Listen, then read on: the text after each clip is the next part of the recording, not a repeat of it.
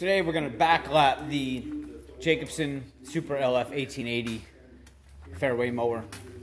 Um, we already backlapped it uh, a couple of days ago and set the height of cut on it. But we just want to freshen it up a little bit. So instead of taking all the reels off, you may or may not know, but this is one trick that I like to do. This machine here has a switch here that will allow the reels to spin backwards. So I think you know what I'm getting at here is, now this is very unsafe to do, so you got to be really careful when you're doing this because you are actually going to start the machine, get off of it while these wheels are spinning, and we are going to apply the compound to these while they backlap. The plus side of this is it's quick. You can get all the reels backlapped at once and then leave them running. So then when you run your hose, they're all spinning and you can rinse them off. We're going to uh, fire this thing up, get those wheels engaged. Now, if you do have a machine that has the shut off on the seat, you're going to have one or two options. Either A, somebody's got to sit on there the whole time while you do it, or B, which is never recommended, but disconnect the safety switch on the seat to do this. Again, that's not recommended, but this is what I do. It's a safety issue when you do that, and always remember to hook it back up. All right, let's get the back lapping. All right, the machine is started. This here is what normally engages your blades. But, get them to go backwards, push this in and down. That will allow those reels to spin backwards. Take my brush.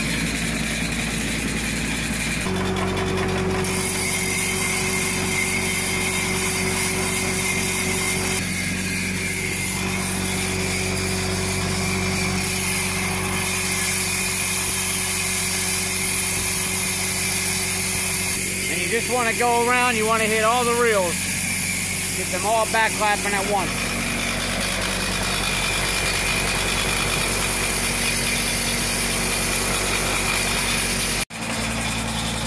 Now you want to be very careful because these blades are spinning and they're spinning at a much higher speed than your back lapping machine normally would. So you can adjust your throttle to get it to a comfortable speed that you need. This first reel here, uh, I was putting some compound on it and you should hear some type of friction, but I got nothing. All right, so that means we're gonna have to shut that machine off come back here and adjust these on each side. That reel is not making any contact at all. You can leave the machine on and do it that way until you hear the contact. So you'll hear it when you're adjusting because the reel is spinning. Or you can adjust it while it's off and then turn the machine on and see if it's too tight or too loose still or whatever. I normally leave the reel on, but it's very unsafe because you have this spinning in the back. And that spinning so close to this bolt. Not that this would cut you, but it's still, it is a moving part and you should not have your hands there. Um, me personally, I do it all the time, but that's me and that's my own life, my own hands. I like to leave these the machine running and adjust these so as I'm adjusting I can hear when the contact starts. But uh, to be safe, you can just do them now while it's off. We are going to loosen the bottom with a 3 eighths and then you are going to just do a small nudge on the top and we will go over to do the same thing on this side. Get on the bottom there. To the right loosen it.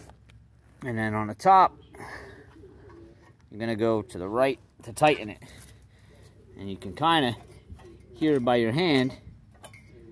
Careful sticking your fingers in there too. We still don't have any contact so that's not going to make any contact when it's spinning.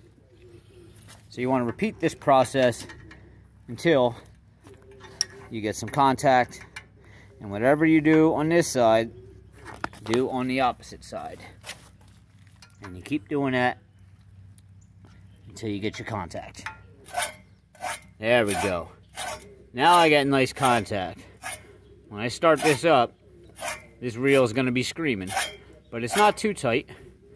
But it's enough contact to get those blades nicely backlapped.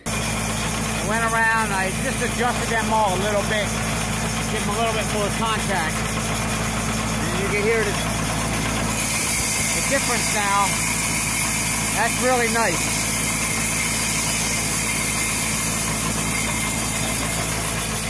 You want to go around hit them all again.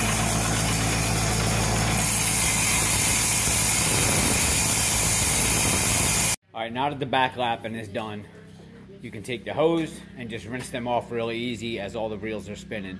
Uh, shut the machine off now just for audio purposes so you can hear me better. But we're gonna start the machine back up, get all the reels spinning, and you just rinse them all off uh, in one shot. And then that machine will be ready to go back into service.